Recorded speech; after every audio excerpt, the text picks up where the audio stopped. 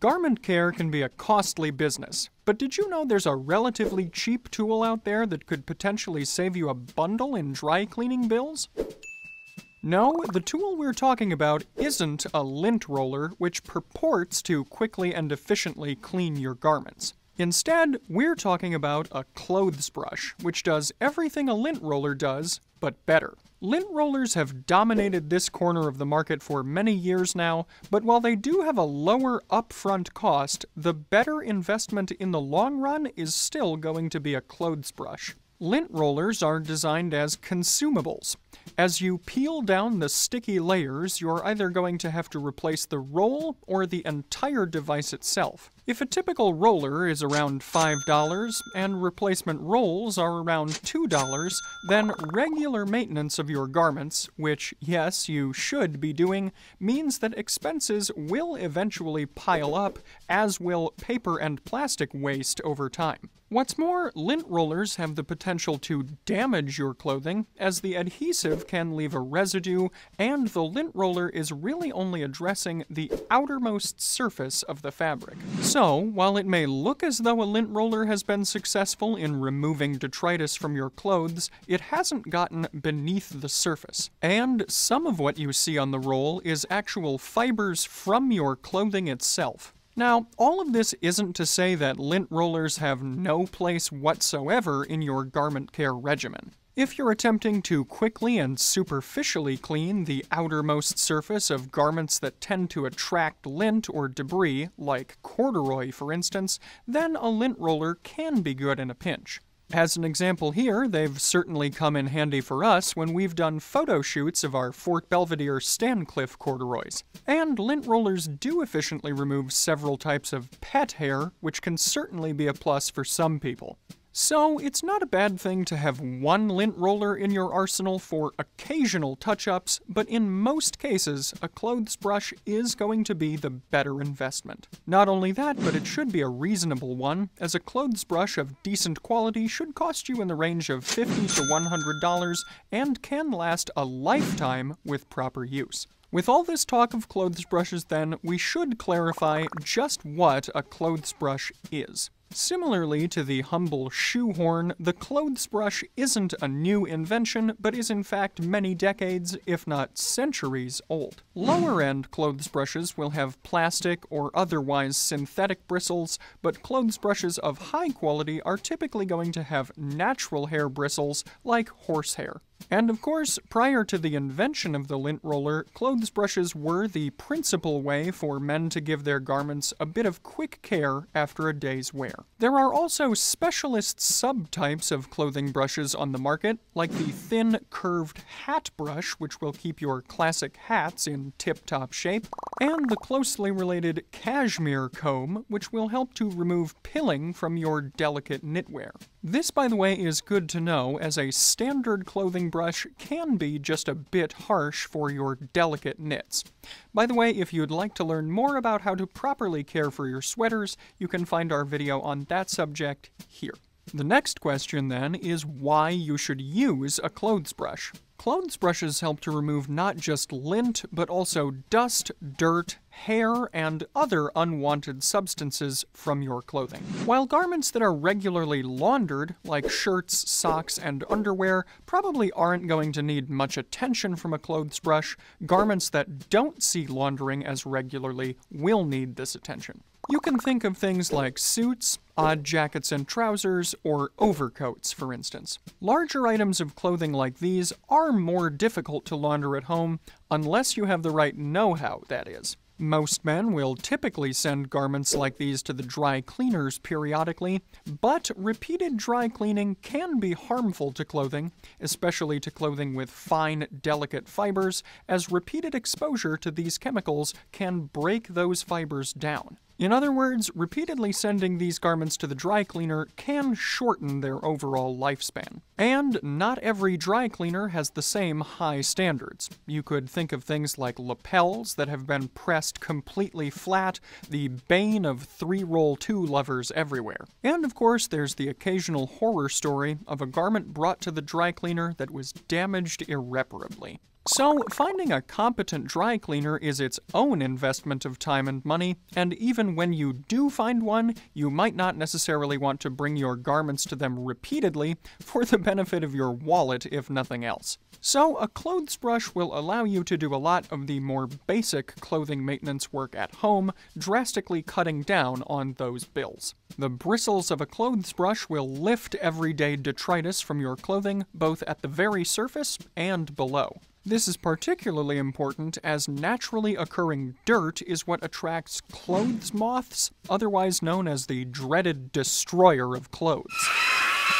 And clothes brushes can also remove foreign substances that contribute to clothing having an off smell over time. Finally here, clothes brushes, when used properly, will restore the nap of the cloth, making your clothing look fresh out of the box each time you wear it, so that you don't have to buy a new jacket every time you go out. Here's a question that those new to the world of menswear often ask. Can't I just use a shoe brush to clean my clothes? The answer is, unless you want to look like you've just had a brawl with your cobbler, then definitely not. Assuming you've actually been using your shoe brush to properly take care of your shoes, then naturally that brush is probably going to have a good amount of dirt and shoe polish on it. And even if you are using a brand new shoe brush, the structure of the brush and the types of bristles used aren't going to give you the best results for clothing clothing care. If you were trying to use something like the coarser, stiffer brush used for getting dirt out of the welt crevices, this would be likely to do some serious damage to your clothing. Meanwhile, finer shoe brushes designed for giving that finished, gleaming shine to your shoes might just glide over the surface of your clothing without really doing much cleaning at all. Essentially, you want to look for specific dedicated brushes for each part of your garment care routine clothing brushes for your clothes, hat brushes for your hats, and shoe brushes for your shoes.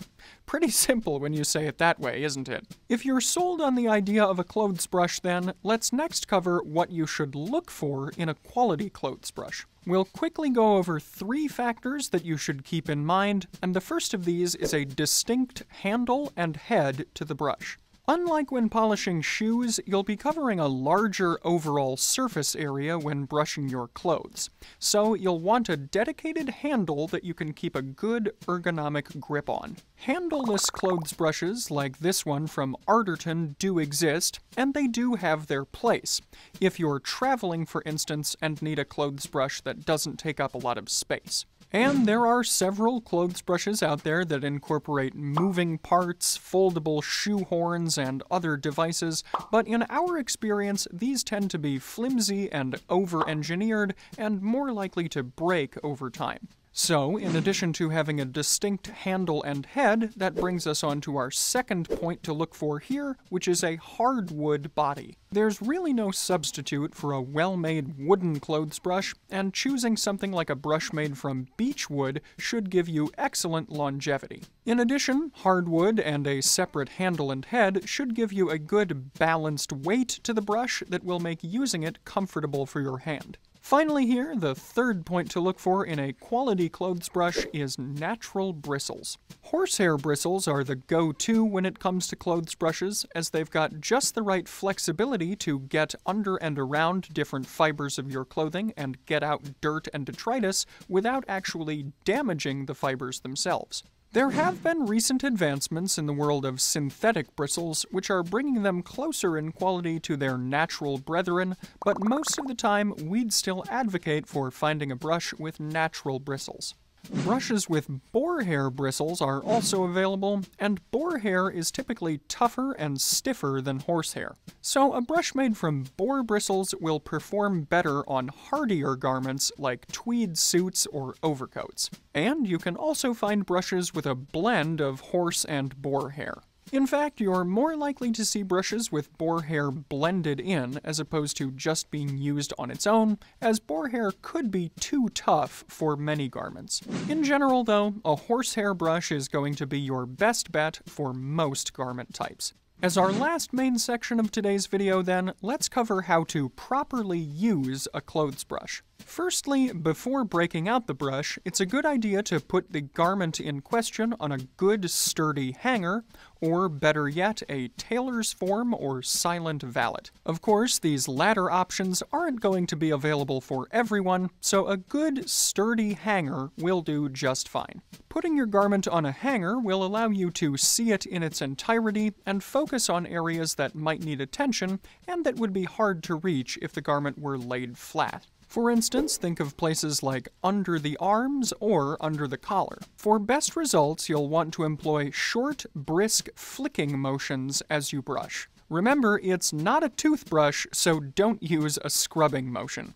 This could have a detrimental effect by prematurely weakening the fibers in your clothes. This advice also applies to larger and longer garments like trousers and overcoats. You may be tempted to employ longer strokes here, but don't do this as you'll run the risk of pulling your garments out of shape. Or, even worse, they could tear at the seams. So again, for best results, stick to short, brisk motions. Begin by brushing against the nap of the fabric, which is the direction in which the fibers lie flattest.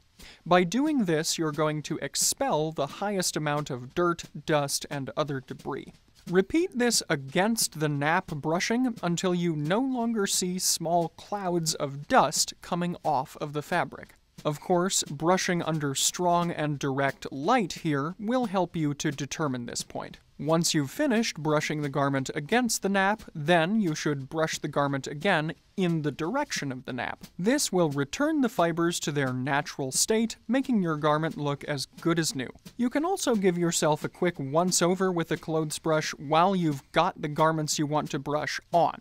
This, of course, won't give you results as good as brushing them when they're on a separate hanger, but it's still better than no brushing at all. Indeed, this method was often employed by valets and can still be seen offered in some barbershops. Best practice here would be to give each of your garments a quick brush at the end of the day when you've returned them to their hangers. Employing the old adage of little and often when it comes to clothing care is a surefire way to make sure that your garments have their maximum longevity, and using a high quality clothes brush will mean that the act of cleaning your clothing will be more pleasurable for you as well.